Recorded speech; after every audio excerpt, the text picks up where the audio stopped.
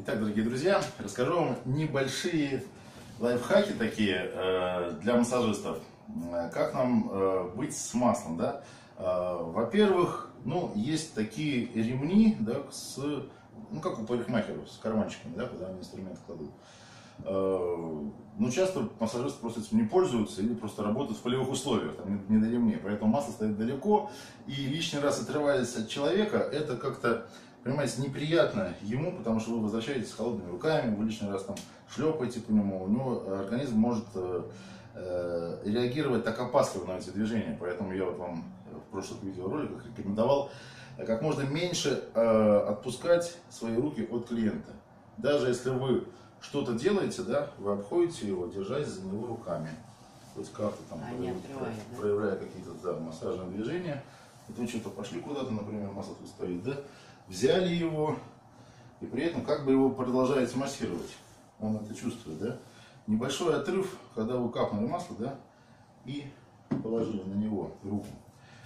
А, следующий лайфхак, это вот как э, экономно масло расходовать. Дело в том, что много нальешь, это плохо. Начнет проливаться, начнет брызгаться, и себя забрызгаете, и пол. Э, Бывают такие вот неряшливые, у меня напарник был такой неряшливый э, массажист. А мало масла нальете, вам часто надо будет бегать и подливать его, да, еще. Поэтому есть э, небольшие такие места, куда его можно запасти немножко побольше, да. Вот, например, мы сейчас работаем с ногой, да. Всю ногу я уже как бы смазал маслом, но на ту сторону я не попал, на та, которая на столе лежит, да. Ну, во-первых, ш- специально это сделал, чтобы не пачкать просто лишний раз, да.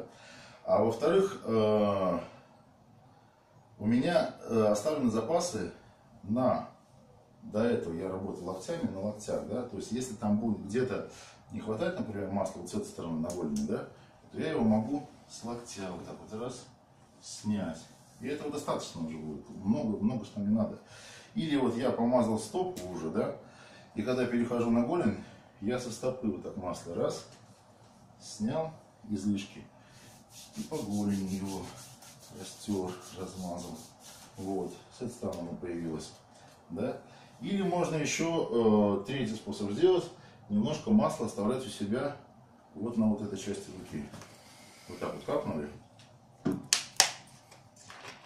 Вот. На тыльной стороне руки. Вы его пока в работе не используете, но его достаточно, чтобы и не, и не слиться. Да? Проработали все. Вот где-то не хватило масла, да, он, например, вот тут вот впиталось или высохло, да? Раз с руки, сняли его и намазали. Вот такие небольшие лайфхаки для вашей работы успешного массажиста. И в следующем видеоролике расскажу еще кое-что интересное.